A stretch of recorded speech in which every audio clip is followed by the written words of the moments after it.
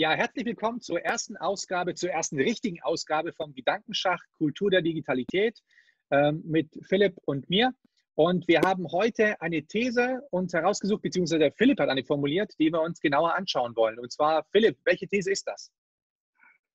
Super, ja, danke. Ich ähm, höre dann also jetzt hatten wir so diese Phase der Schulschließungen und ähm, des Lockdowns und dann haben Leute digitalen Fernunterricht ausprobiert. Da wurden ganz verschiedene Dinge gemacht oder Forderungen aufgestellt.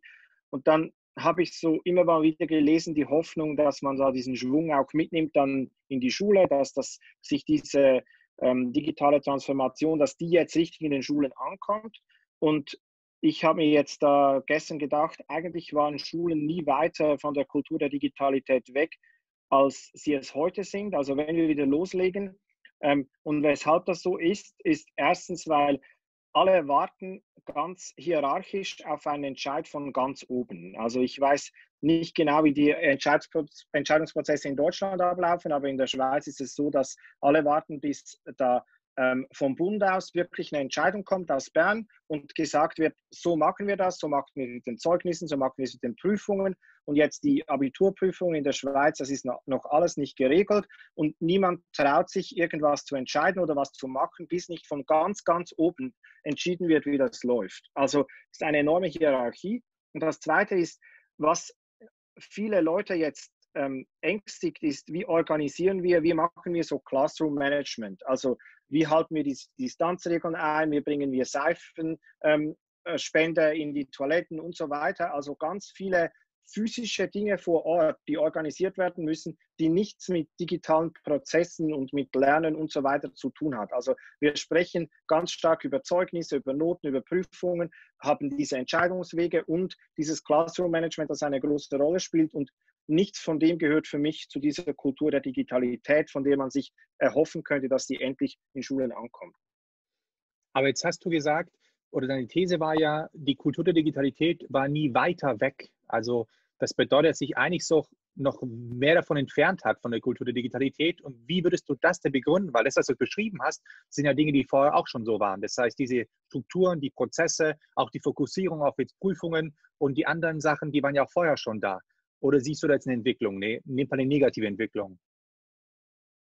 Also ich würde sagen, etwas ganz Entscheidendes in dieser Kultur der Digitalität ist, ich kann mich, die Vernetzung geht von mir aus und die Vernetzung hat auch, die schlägt so wie lokale Wurzeln. Also ich kann an einer Schule einen Weg gehen und weil ich mich halt nicht mehr so an diese ähm, örtlichen Bedingungen halten muss, kann ich auch ähm, Partnerschulen vielleicht finden oder, oder Leute ins Boot holen, die ganz woanders sind und ich kann mich mit ihnen vernetzen, ich kann mich auf das beziehen, was sie gemacht haben.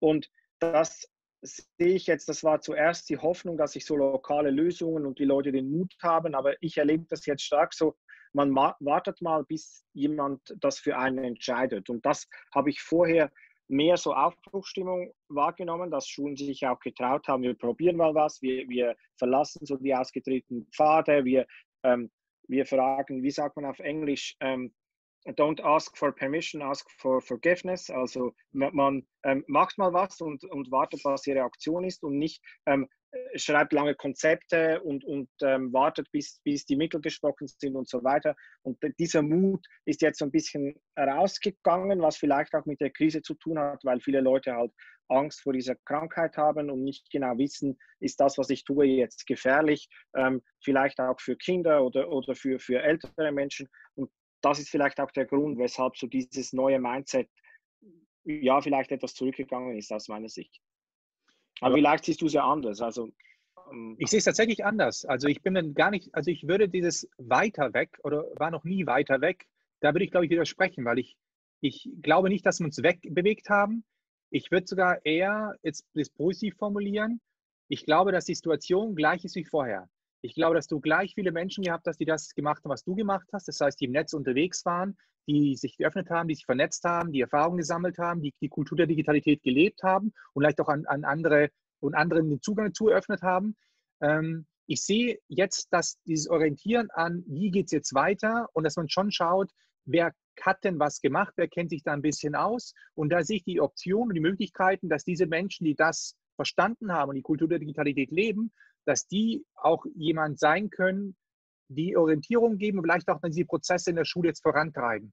Nicht überall, aber ich glaube, da, wo es halt vorher einfach schon günstig war. Und wenn wir jetzt mal wieder davon ausgehen, dass die Anzahl der Lehrenden, Schulleitungen, Schulträger und allen anderen Entscheidungsebenen, dass die vorher gleich war wie jetzt, in Bezug auf der Offenheit gegenüber der, der Kultur der Digitalität, dann hast du jetzt vielleicht zumindest einen Vorteil zu früher, und zwar die Erkenntnis, dass es auf jeden Fall langfristig eine Veränderung des Lernens und des Lehrens haben muss und die Kultur der Digitalität da eine Rolle spielt.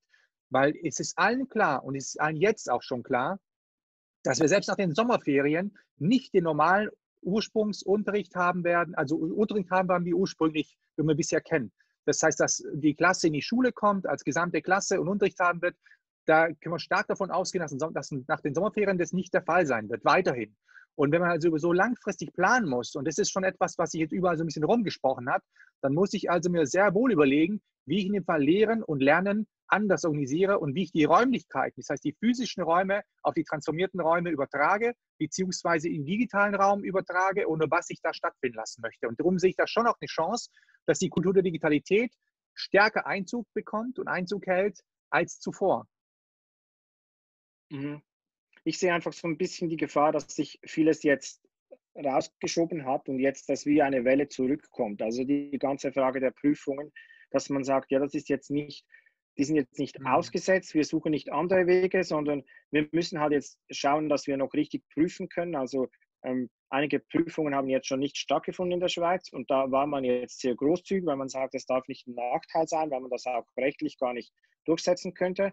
Und dann hat man, dann sagt man so unter vorgehaltener Hand, aber nächstes Semester, da schauen wir dann, dass die alle rausfliegen, die, die jetzt reingekommen sind, die nicht hätten reinkommen sollen. Mhm. Und, und da sehe ich dann so wie der Druck das hat sich einfach verschoben und es wird noch viel brutaler, als es vorher war, weil, weil man ja gar keine Zeit mehr hat. Ich denke, ich stelle mir jetzt so die ersten Schulen vor, die wieder aufgehen und die jetzt vielleicht tolle digitale Projekte am Laufen hatten, aber diese Lehrkräfte, die stehen dann in der Schule und müssen so viele Dinge entscheiden, müssen mit den Kindern sprechen, müssen schauen, was haben die gemacht.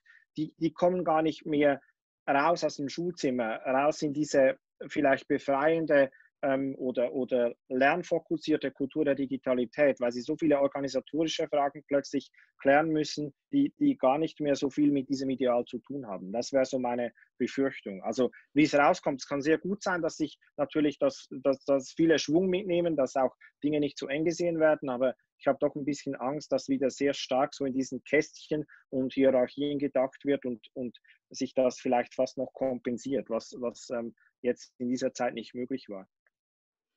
Also ich, ich, ich befürchte, dass, dass das zutrifft, was du beschreibst, aber ich denke, dass es einfach nur ein, ein, eine Perspektive ist. Äh, eine von vielen. Weil, wenn wir jetzt mal zurückblicken und schauen, was hat denn zu diesem ganzen Aufbruch und diesem ganzen Mut und dieser ganzen Veränderung denn geführt? Es hat dazu geführt, dass sich zwei Sachen auf einmal schlagartig geändert haben. Und zwar durch diese Schulschließungen ist einfach so ein Muss entstanden. Das heißt, du musst jetzt einfach zwangsläufig auf andere Räumlichkeiten ausweichen, die physischen sind nicht mehr vorhanden, also musst du den digitalen Raum bespielen. Und das Zweite war einfach die Zeit, dass du Zeit bekommen hast, äh, das zu tun.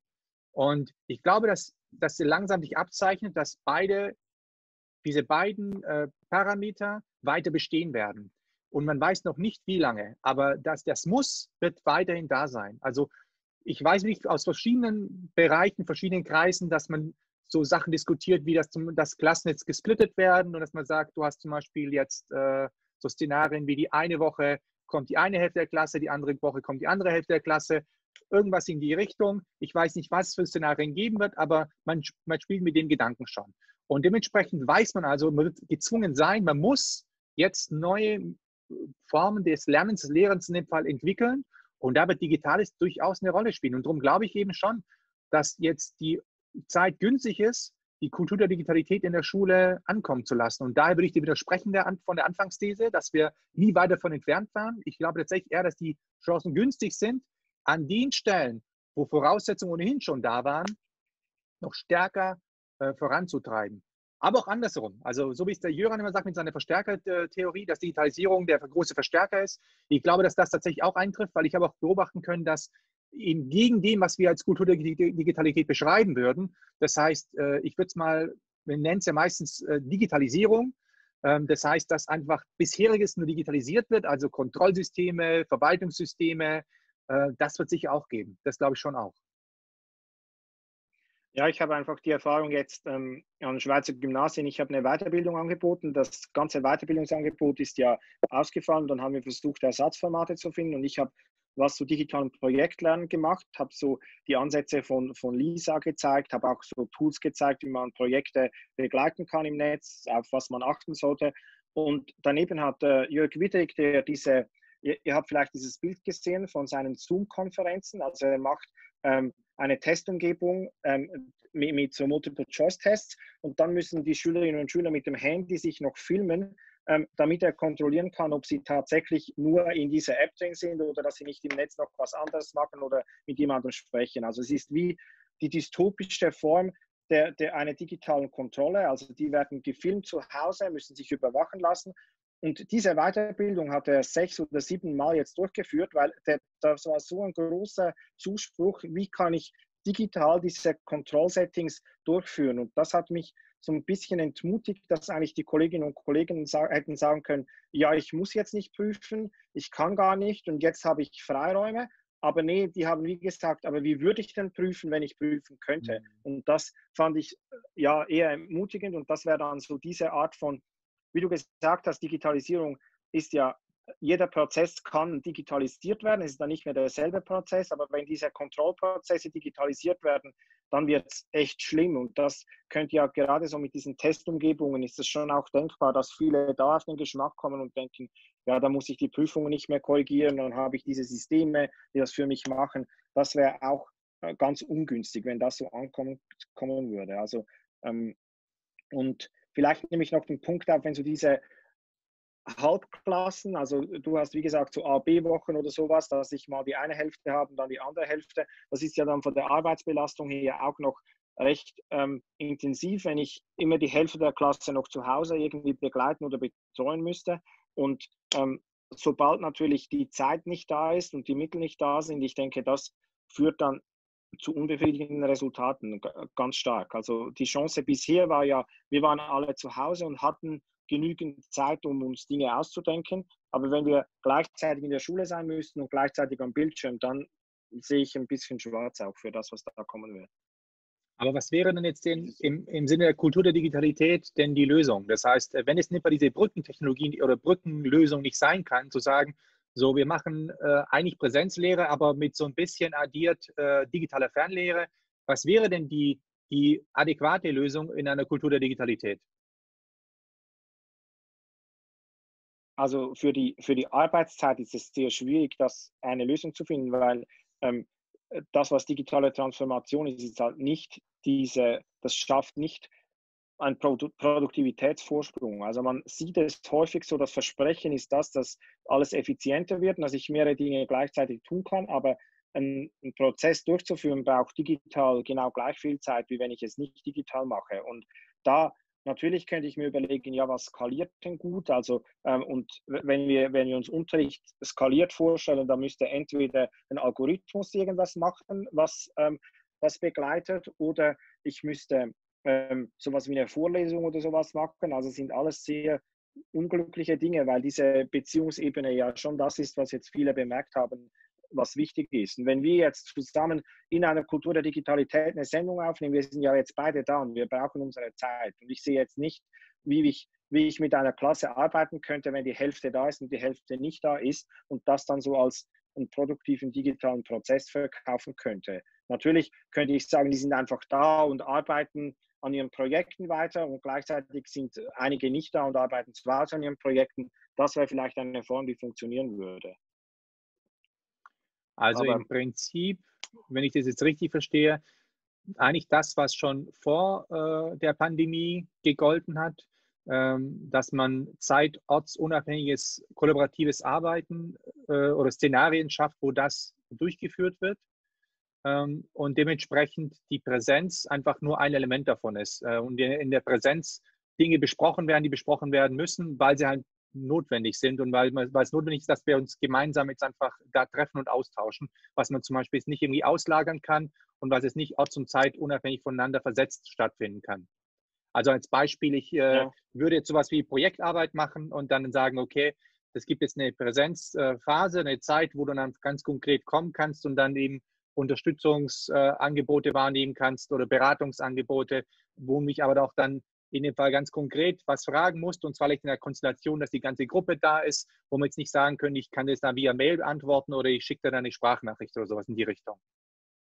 Ja, also natürlich kannst du schon sehr geschickte digitale Szenarien, also wenn du sowas nimmst wie eine Fishbowl-Diskussion und dann könntest du machen, die eine Hälfte, die sind halt zu Hause, die machen vielleicht die Fishbowl-Diskussion, so wie wir jetzt über Zoom uns unterhalten oder in Teams oder Jitsi Meet oder mhm. sowas.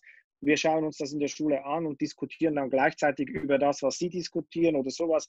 Da kannst du schon interessante Dinge machen, aber das überfordert ich würde sagen, 95 Prozent der Lehrkräfte, sowas mhm. sich auszudenken, was jetzt Präsenz und äh, Fernunterricht gleichzeitig attraktiv macht. Und, was, was wären denn für dich ja. jetzt noch so ähm, Möglichkeiten? Du hast ja vorhin die strukturellen Hürden beschrieben. Das heißt, äh, diese Einblick, die du in die Politik gegeben hast und in Verwaltung gegeben hast, ist etwas, äh, oder die Erfahrung, die du jetzt aus der Schweiz beschrieben hast, die gibt es natürlich in Deutschland auch. Das heißt, ähm, diese, der hierarchische Aufbau ist hier äh, gleich. Also auch hier hat man relativ lange gewartet. Man muss einfach warten, bis Entscheidungen auf oberster Stelle getroffen werden, um dann dementsprechend dann Umsetzungen planen zu können und oder Konzepte planen zu können und umzusetzen. Das heißt, du hast relativ wenig Autarkie, was so eine Schulleitung angeht.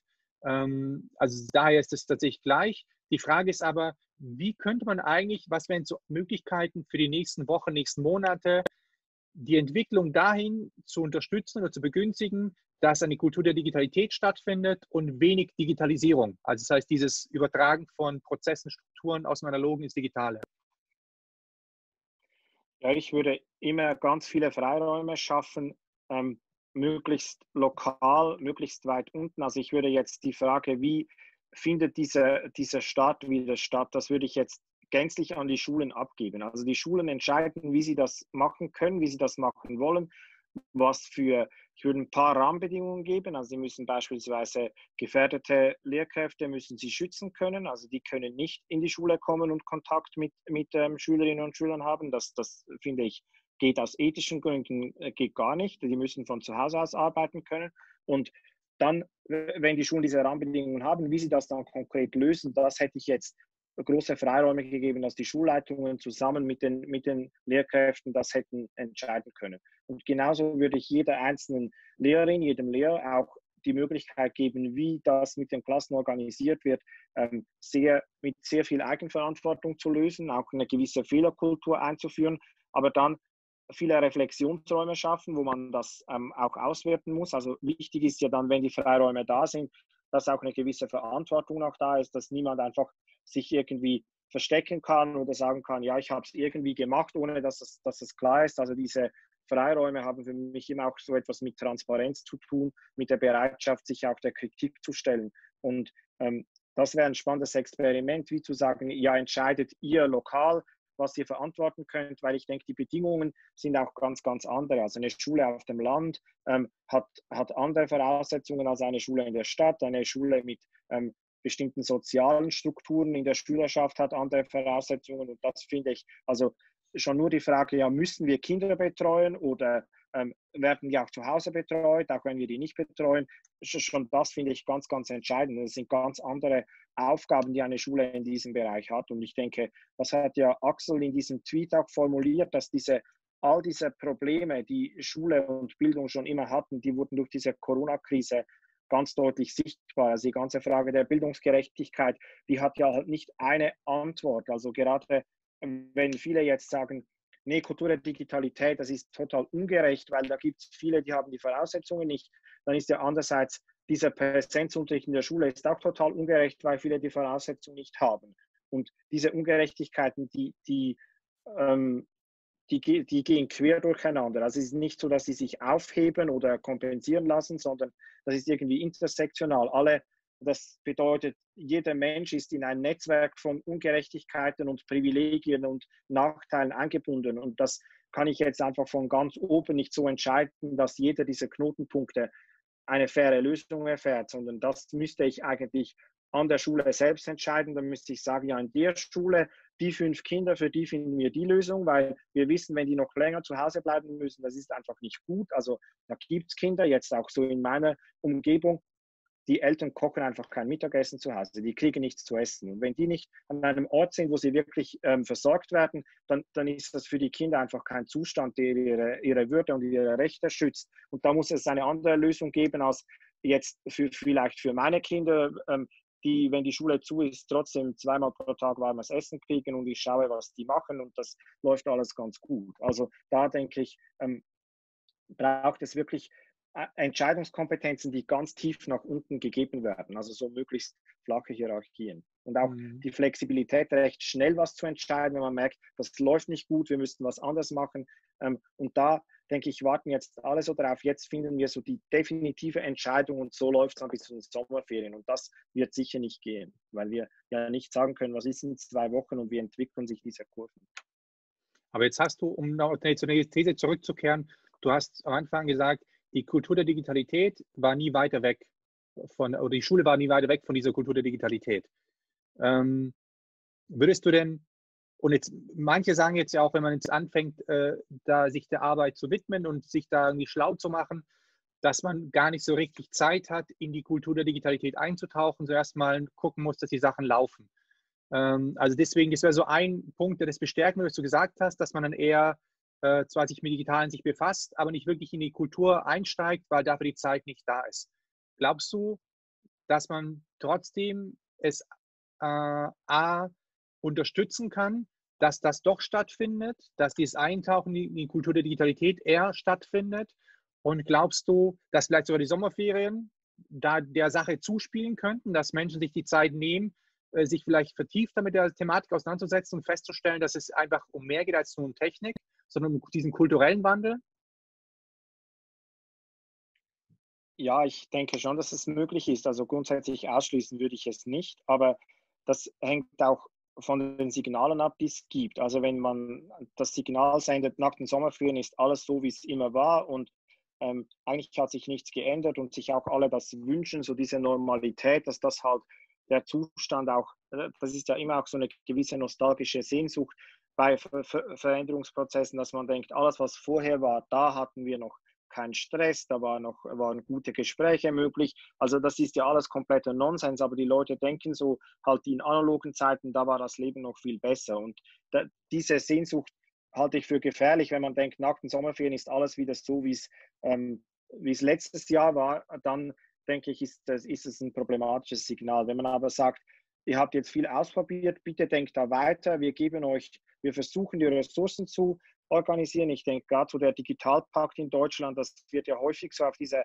Ausstattungsfrage reduziert und da mhm. wäre das Signal auch, wir geben euch, wir geben euch Zeit, wir geben euch Freiräume, nicht wir geben euch Geräte, um Dinge zu machen, sondern und das, glaube ich, da müsste das Umdenken etwas stattfinden, dass man sagt, ja, wir, wir freuen uns, wenn ihr mit Ideen kommt und nicht ähm, Ideen haben keinen Platz, weil wir haben ein Konzept und das ist vorgegeben. Das, das verhindert diese Kultur der Digitalität, dass man alles bewilligen muss, dass man alles mit Formularen irgendwie einreichen muss. Das ist nicht, so funktioniert das nicht. Also, dass wir das jetzt gemacht haben, wir haben niemanden gefragt, wir haben es gemacht.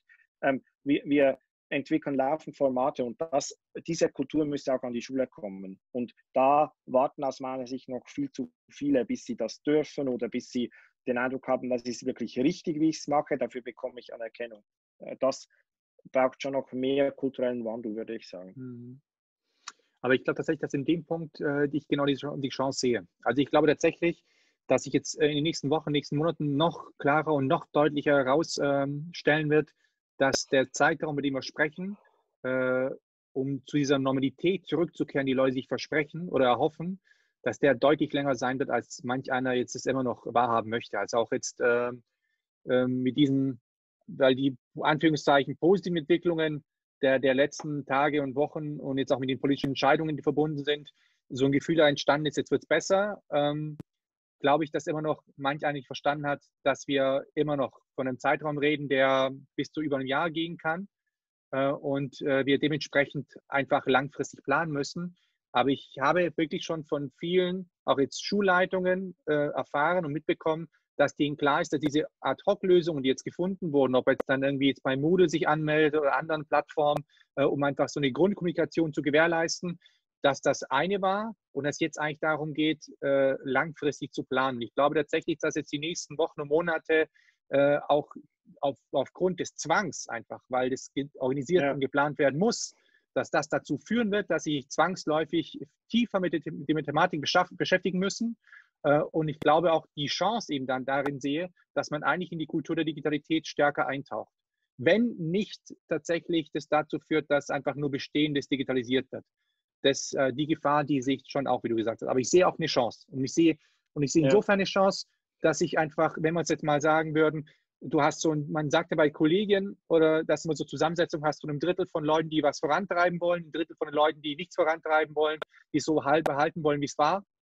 Und diese Mitte, äh, die, die, die mal da, mal da ist. Und wenn man es jetzt, jetzt gelingen könnte, dass dieses Drittel, was vorne eigentlich was verändern möchte und vielleicht eine Expertise aufgebaut in den letzten Jahren, diese Mitte mitnimmt und da Impulse setzen kann, dann sehe ich durchaus eine Chance, dass einfach jetzt an viel mehr Stellen als zuvor äh, grundlegender Wandel stattfindet, Prozesse angestoßen werden, die viel nachhaltiger sind und viel wirksamer sind als die zuvor. Und dementsprechend glaube ich, dass die mhm. Kultur Digitalität noch breiter eigentlich jetzt ankommen kann, als, als wir uns hätten ausmalen können noch vor einem halben Jahr. Ja, da, da gehe ich mit dir einig. Wenn jetzt, wenn längerfristig, wenn mehrere Monate ähm, Lehrerinnen und Lehrer angehalten sind, diese Tools wirklich zu benutzen, auch diese neuen Prozesse zu erfahren. Ähm, wir hatten jetzt auch viele interne Kommunikation über digitale Medien, wo man merkt, okay, wir müssen uns gar nicht zwei Stunden zusammensetzen, sondern wir können vielleicht fast, ähm, äh, das ist fast wirkungsvoller, wenn wir es, wenn digital organisieren. Wenn diese Erfahrung mal gemacht ist, dann davon verspreche ich mir auch viel. Aber wenn es nur so ist, das war jetzt so eine Ausnahmesituation, da haben wir es halt so machen müssen und jetzt dürfen wir gar nicht mehr, jetzt können wir gar nicht mehr, das, das kann auch enorm viel Frustration hervorrufen. Hm. Und es müssen halt wirklich auch alle mitziehen. Also es muss, es kann nicht nur, es, äh, es reicht schon, wenn es diese zwei Drittel sind, aber wenn halt die zwei Drittel die sind, die nicht wollen, dann funktioniert es wahrscheinlich mhm. so, wie es ähm, bisher funktioniert hat. Mhm. Okay, also Wollen wir schon mal schließen und ich würde äh, auch die sagen. These kann ja auch noch äh, weiter diskutiert werden und wir werden auch sehen in den nächsten genau. Wochen, wie es da weitergeht. Ja. Genau. Dann äh, vielen Dank, Philipp, für deine Zeit. Äh, ja, hat mir Spaß gemacht. Und äh, die, die Leute, die zuschauen oder zuhören sollten, wir hoffen, dass euch eventuell ein paar Impulse für euch mit dabei waren, die euch auch weiterbringen. Ansonsten freuen wir natürlich auch uns über jedes Gespräch in anderen sozialen Netzwerken. Das heißt, wir sind offen für eine Debatte und für einen Austausch und freuen uns, sagen wir jetzt mal darüber, oder? Super, genau, so ist es. Jetzt musst du aber obligatorisch immer winken. Ich weiß nicht wieso, aber das macht man immer. ja, ich winke auch immer, genau. Ciao, Philipp. Ciao.